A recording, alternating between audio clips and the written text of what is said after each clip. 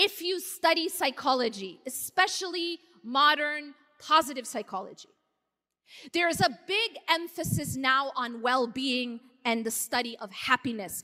And they've moved away from abnormal psychology, figuring out how the human being can break down and figuring out how to fix it. And now there's a lot more emphasis on increasing well being and happiness. And what they found is very fascinating when you look at all these studies. What they find is that everyone wants to be happy, and yet they found that people pretty much live on this sort of baseline happiness. It's a set point.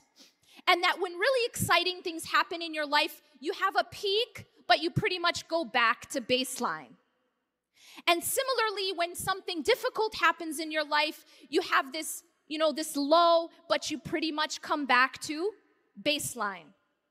And this baseline is not so easy to change.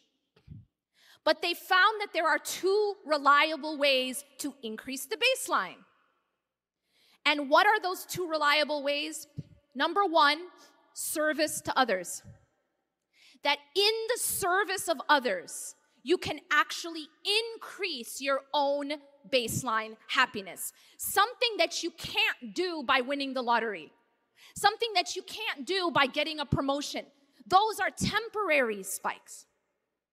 But service actually increases the baseline.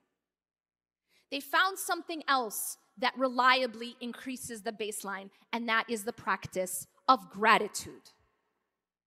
Gratitude is so powerful, they find, that keeping a gratitude journal, just writing down three to five things that you're grateful for every single day, has been found to even help with symptoms of depression.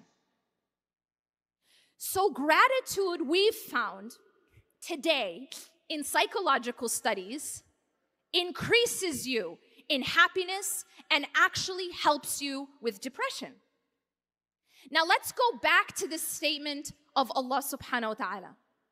If you are grateful, I will increase you.